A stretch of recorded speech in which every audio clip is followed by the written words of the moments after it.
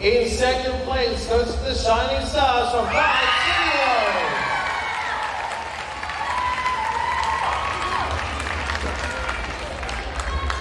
And the winners of Junior Lyrical Contemporary goes to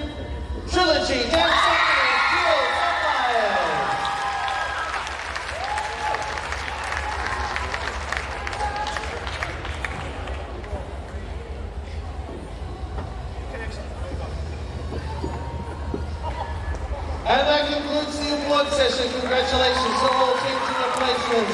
The next dance award session is at 4.15.